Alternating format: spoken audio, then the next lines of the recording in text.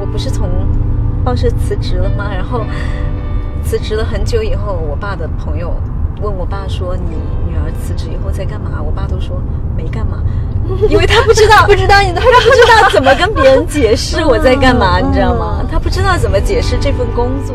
Papi 酱这个东西的产生就是天时地利人和吧。你说真说到什么一一年、一二年，那时候互联网也不是现在这样，就你可能那时候真不一定行。我理解的是，人有能力不单单足够的，你还要有这个平台，有时代机遇，是吗？对，就是我觉得，我觉得每一个人成功都是天时地利人和，缺一不可。为什么很多人不喜欢网红？是因为网红贴被贴了很多标签。其实太在意自己的标签啊，也会阻止自己的进步。可是我反而觉得是，网红明明给我们带来了很多。便利吧，或者说一些好的渠道跟一些好的发展，为什么不认这个身份？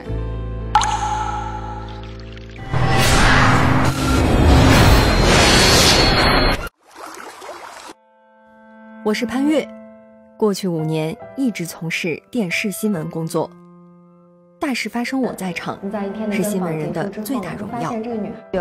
然而，随着行业不断受到新技术和新工具冲击，媒体从业者都产生了不同程度的焦虑和迷茫。事实上，这也是中国大部分行业正在经历着的改变。我们化作流量里的微尘，在追求效率和速度的过程中，逐渐感到困惑和孤独。与此同时，新兴行业的参与者们也因为信息不对称等原因，受到了不同程度的误解和伤害。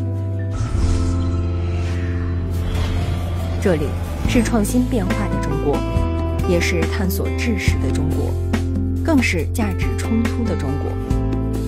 世界新生伊始，许多事物还没有名字，提到的时候尚需用手指指点点。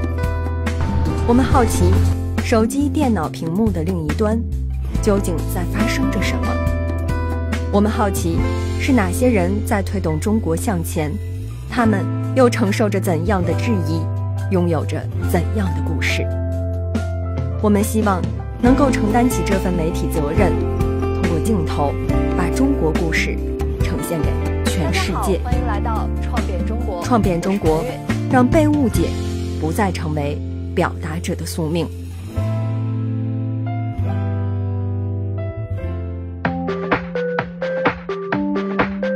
北辰青年，国内知名的青年成长社群，作为创变中国的内容合作方，为我们连接到了上千所高校的大学生，以及三十六座城市的白领。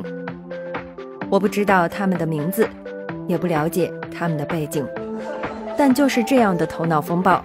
逐渐构成了这档节目的灵魂。他们的困惑、思考和疑问，渗透到节目制作的全过程。我们称之为“素人表决”。很多人都称九零后为“叔叔阿姨们 ”。叔叔阿姨们。对。那我们这种八零后要怎么称？小姐姐。但是大家为什么会频繁的使用各种各样的网络新词呢？是为了？彰显自己非常的潮吗？自己没有被时代抛弃。哦，对，就是我，我的感觉就是已经被抛弃。不是最可怕的就是你第第第二天晚上你在睡觉，然后然后头一天晚上起来，不是 起来起来之后发现周围的人都在说一件事情，而你不知道，不知道，对，然后你就觉得那种被抛弃了，被抛弃，就是被抛弃就觉得很可怕嘛？就是我觉得各种压力都更大了一点。比如说，我们现在网络更发达了，然后我们每天接触的信息很多，你就会开始很焦虑。就人一旦一开始面对很多信息，就会焦虑。然后开始很多就业的平台，可能跟你的专业也有关系。反正我就觉得我自己就压力更大。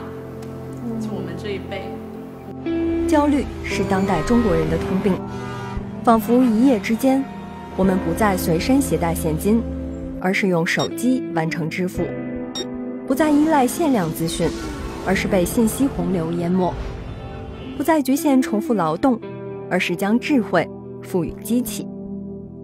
这样的时代背景之下，人与人之间的现实交集越来越少。我们不断寻求思想和情感寄托，因而以互联网为载体的意见领袖应运而生，个体崛起时代悄然来临。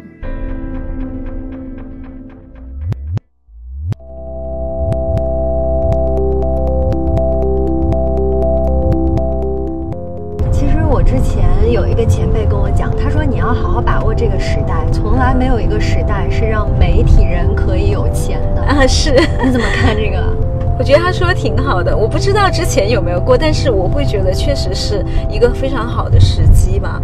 就嗯，怎么说呢？就是以前确实你没有想到通过写内容也可以创业。对，我不是从报社辞职了吗？然后辞职了很久以后，我爸的朋友问我爸说：“你女儿辞职以后在干嘛？”我爸都说没干嘛，因为他不知道，不知道你在他不知道怎么跟别人解释 我在干嘛，你知道吗？他不知道怎么解释这份工作。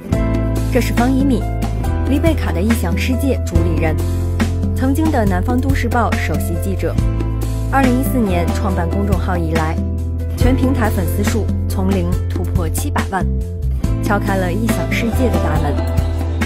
他先后获得华南地区最受欢迎时尚自媒体、最具商业号召力时尚自媒体等称号。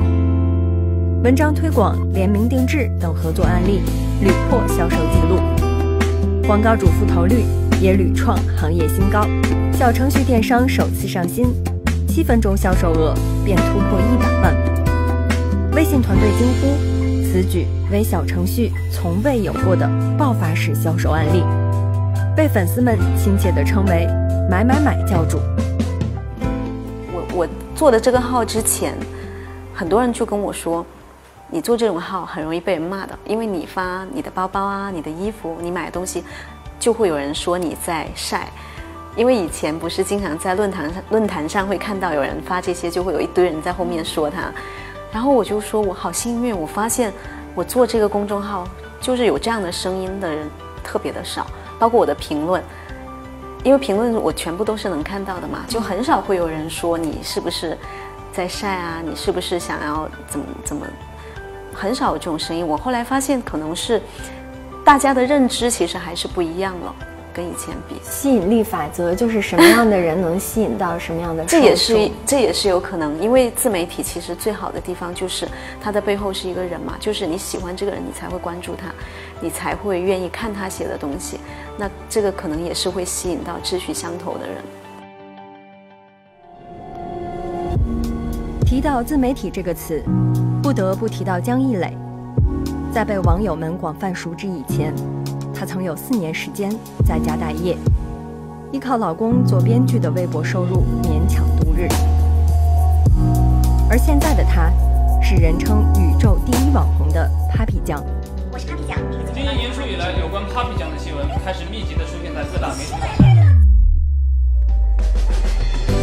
未来是什么样？交给未来的自己回答。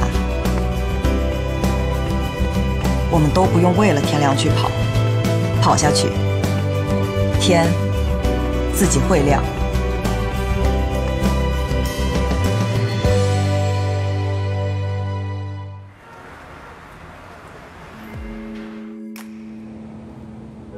早期工作经历就很少，就我待业那四年啊，属于是，就也什么都试过，演员也去试过戏，然后。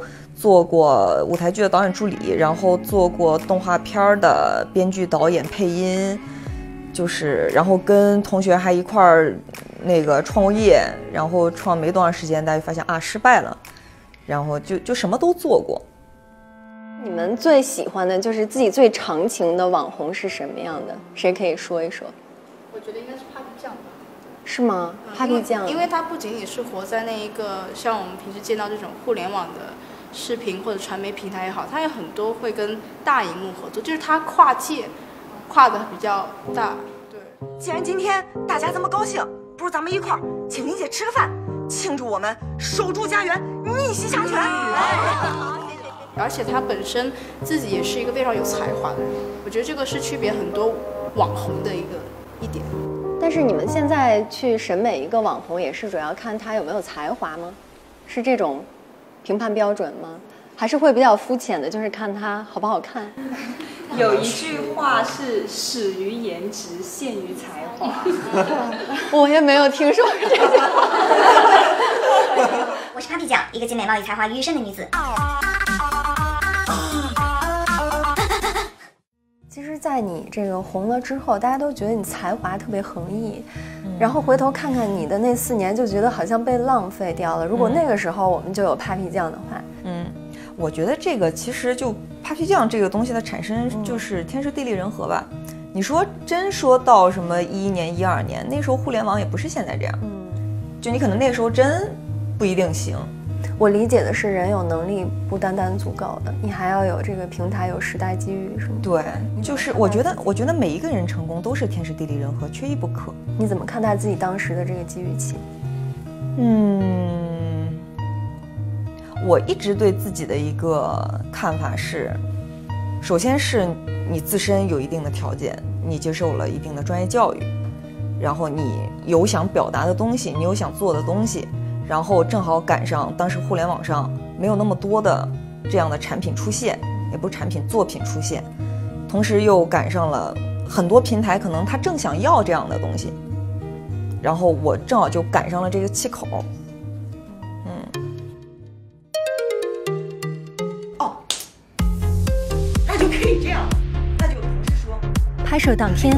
Papi 酱带领团队为一条广告视频开了两个小时的选题会。事实上，他的网络视频中大部分取景都出自于这间小小的办公室。而为了给创变中国拍摄短视频，Papi 还带着小伙伴们溜进了男厕所。这个选题特别好，你要别管我，你要继续说，我记下。别管我。我之前看你们好多视频，我都觉得你们这个工作室应该是特别大。我的我个人的团队是只有这些人，就我们一起做内容的话是这些人。嗯嗯，然后呃，我们员工确实有很多，但是有很多就是 for Papi Tube 的博主啊什么的。嗯，就是专门服侍您的，就只有这几位是吗？服侍不能说服侍了，不是娘娘。他他他也没有那么说，我们都是娘娘交换，主要是就是大家一起。其实我们是每一个博主都会有一个 team 专门去为他们去做内容啊，或者是推广方面啊，就不仅仅是我，包括我们签约的其他博主，啊对，都会有一些去 support 他们的一些人员。嗯，像今天这种选题会，是不是每天都会有？差不多每一天，他们其实有时候不希望我来的太勤。因为会干扰到他们工作，但事实呢？你是每天都来？我只要没什么事儿，基本上就会来。嘘，没听见？我的手机声响。啊，我不，我觉得这块儿不用演，我怕观众看了会疲劳。不对啊，他有的，他其实应该是有新手机之后就变正常了。对呀，我不知道。你看他这个屏带比多大？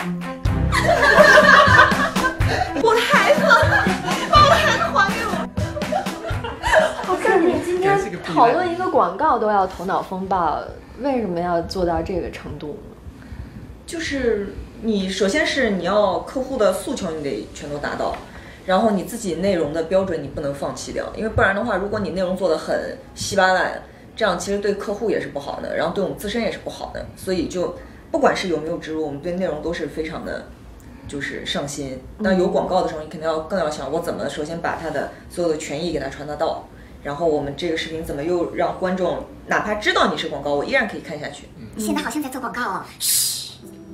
以后我就叫你们小八和大八吧。呃，那个你你能把我手机还给我吗？小八、大八叫妈妈，嗯，妈妈。就大家其实都会以为我们做内容是很轻松的一件事情，就是包括杨明啊，杨明，你想他这我的合伙人呀，这可是他以为我拍视频玩着就拍了，嗯，其实根本就不是。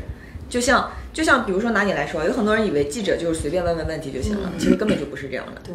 然后其实做内容做短视频，你再短的内容也好，只要但凡是比较好的内容，你都得就是挖空心思的去想它到底怎么做。嗯。我这个视频里面，我我要表达的是什么？我的梗做的到不到位？等等等等等等的。就是你们觉得，Papi 这个 IP 的运作未来以后会有什么样的转型的方向？我觉得不一样。我认为啊，就大家听听我说对不对啊？就是这个它其实不是一个东西的转型，它其实是两个的转型，一个是 Papi 本人的一个升级，一个是 Papi 内容的升级。我觉得这是两件儿两件儿，我觉得这是两件不一样的事情。个人的升级，比如说你去做一些呃脱离 Papi 酱的它的视频内容的东西，你可能去做，比如说上一些综艺呀、或者什么的。然后还有一个是我们做 Papi 酱这个内容的时候，它能有一个什么样的升级，或者是一个改变。嗯，那就说对对对对，是这意思，对对对，是是吧。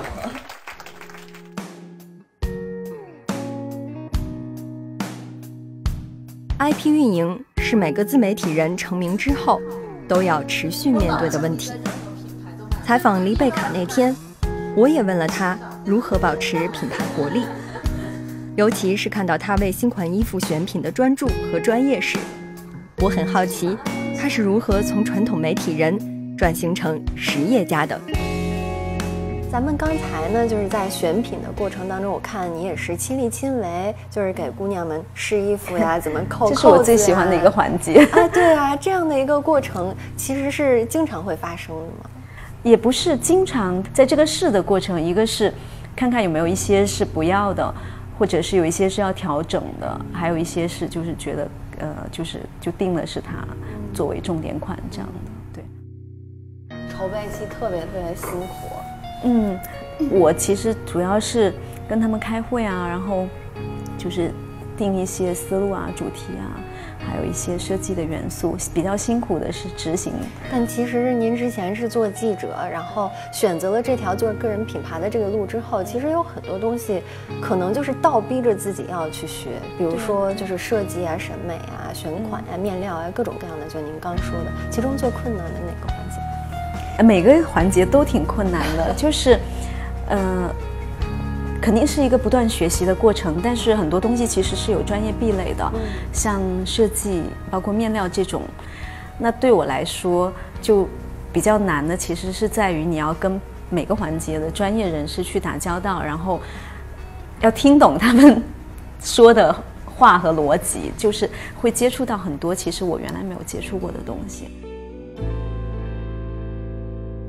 就我觉得这种网红的，就是这种普及，然后造成了一个时代的焦虑。这种焦虑就是因为现在这个时代一直在倡导年轻人你要做自己，然后你要表达出自己的东西，然后过上自己想要的生活，甚至活成自己想要的模样。那那这这个时候，年轻人其实就会开始去思考我未来想要成为什么样的人。然后当你看到网络上有一批网红过着各种丰富多彩的生活的时候，那种焦虑感是油然而生的。我为什么他在游艇上，我在这里 办公室里苦逼的打键盘？所以大家想成为网红吗？想，内心都是想的是吗？就你当时，就看上去赚钱还挺容易的。零零后一般都是这么直接，是吗？对，就其实我想着网红，你不一定只能做那种表面上网红，做一个有趣有态度的网红也是一件好事。有态度指的是，就我能够去，如果我变强大之后，我能去帮助那些弱小的人，这也是我经常做的一个事情。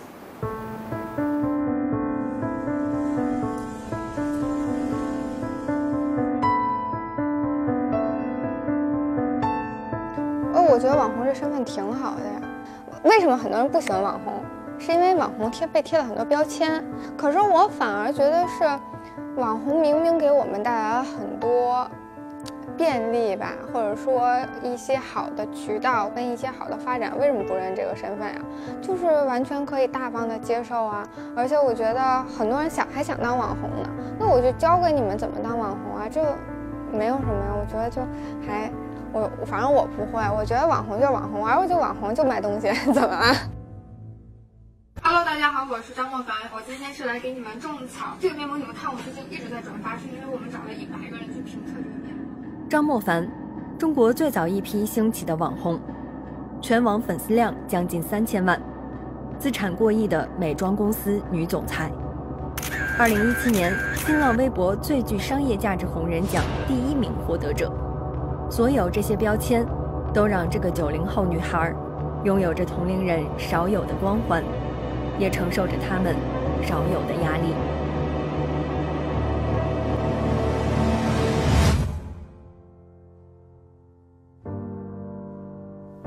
整容脸、易装疯、擅长事件炒作，在很多人心中，这些词往往和网红联系在一起。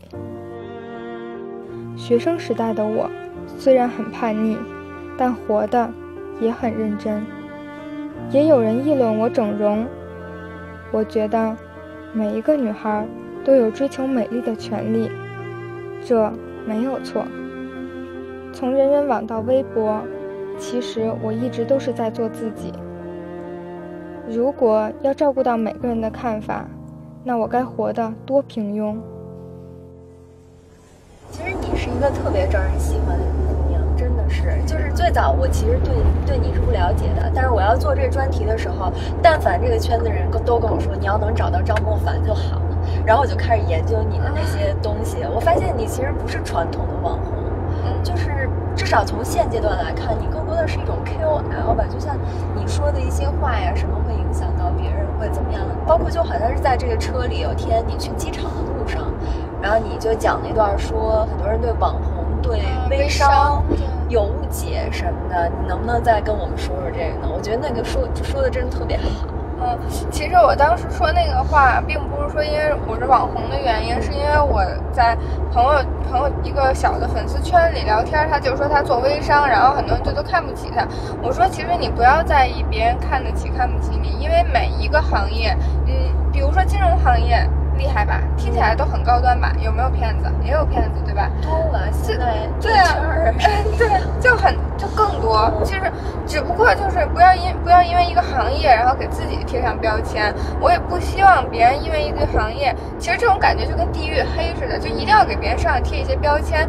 因为其实行业就这些行业里面的人是参差不齐的，不能说只看到坏的，不看到好的。可是其实我觉得，我们选择什么行业。这这个行业有什么标签不重要，重要的是我们怎么去做。我就像比如说，有的人说护肤品啊、化妆品啊，就是那水很深的。你要想好好做，你就真的能好好做；你要不想好好做，那你也可以做的就是非常鱼龙混杂的。别笑，你别笑，你别笑。那么在一整天的跟访下来之后呢，我就发现这个九一年的女孩，她的三观特别正。他老强调说我是网红，我做国货，我以此为荣。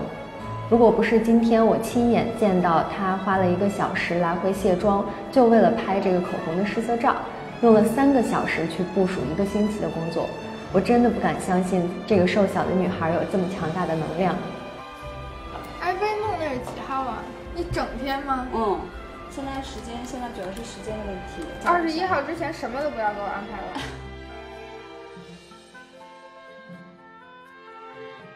你之前有说今年一八年的这个营营业额大概是想要做到一点八亿，嗯，现在是达到了多少？现在大概七八千万吧。七八千万，有信心吗？就是这个大目标今年能完成吗？应该差不多吧，因为其实我们公司不是一个就是这种。绩效考核导向很重的公司，就是没有说必须要完成什么什么样，完不成就怎么怎么样。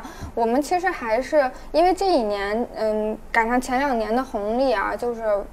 网红经济的红利，那这一年其实我更想沉淀下来，好好做品牌。所以，我们其实上半年大部分的工作都是在做品牌的一些梳理，还有内部的一些调整。我觉得这些做好了，我们才能真正往前跑。而如果一味的不断的去追求一个营业额或者追求一个绩效的话，反而可能会让这个公司跑得太快而断掉。嗯，其实大家都很想听你讲网红经济，因为之前我看你上边有一个那个奖状，就是微博。最具商业价值红人奖，嗯，大概是前年，去年啊前年前去年一七啊去年去年，今年是当了那个颁奖嘉宾，对。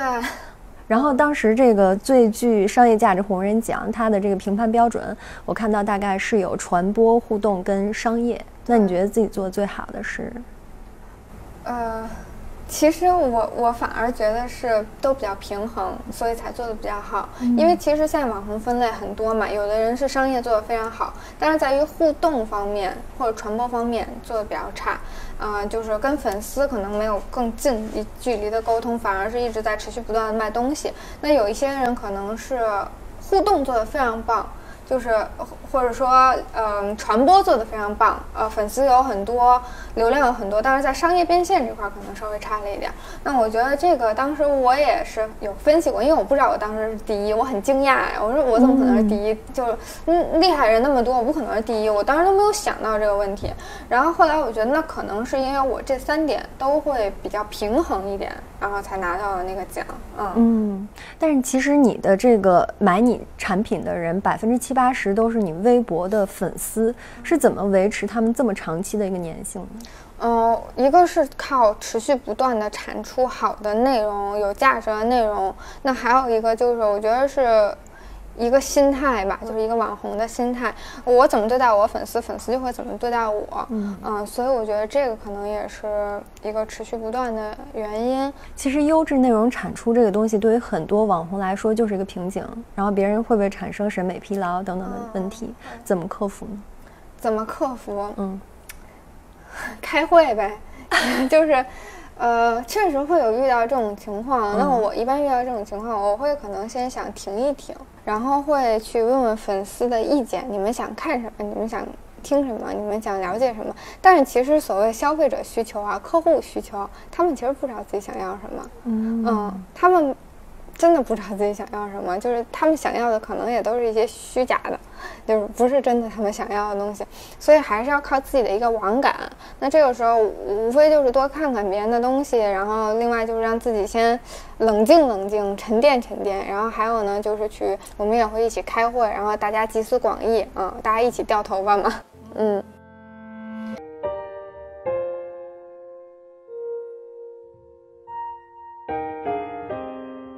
模仿 Papi 的人特别多，嗯甚至有人想蹭你的热度啊什么的，包括前一段有，嗯，那你自己怎么看这些现象？我觉得这种就首先你控制不了，嗯嗯，我是觉得控制不了的事情就不去管它。我反正是觉得，如果他模仿你，说明他不如你，嗯，因为他没有创造的能力。认同。那他既然走在你的后面，你为什么要回头看他？所以我是觉得就不足为惧。而且有的人可能只是模仿了一个精分这样的一个表象，嗯还有用这个加速器啊什么的，内容方面可能跟你这边差得很远。对，其实你如果没有核的话，你只是去抓一个表，抓一个形式的话，那其实是不行。Papi 的核是什么？内容，嗯 嗯，就其实就是原创的一些内容。内容的持续更新创作。嗯，你其实有没有过这方面的焦虑呢？焦虑倒是没有，嗯，就是不夸张的说，我们选题其实没有断过。但是我前两天微博上有一个我关注的一个做漫画的，他发了一个是别人在 Twitter 上的一个一个一条推，就是说有很多人会觉得漫画家一周可以出一画的话，那么他按道理来说他一个月就可以出四画，但其实实际上不是这样的。那对我们视频其实是一样的，就是你，我可以保持一个保持保保持一个定量的一个更新，我也可以保持在一个比较高的标准，但是你总会有累的时候。这是创变中国的第一期，从节目筹备、拍摄、剪辑、播出，前后历时将近一年。今天你们看到的这些嘉宾，以及素人表决的那些年轻人，都是无偿接受我们访问的。还有无数站在屏幕背后，默默付出和支持我们的同路人，大家的共同心愿，就是通过一档节目，记录下这个时代的本来面貌。感谢你看到了这里，希望你对个体崛起时代有了一些新的认识。下一期我们将要探讨的主题是自媒体的社会担当。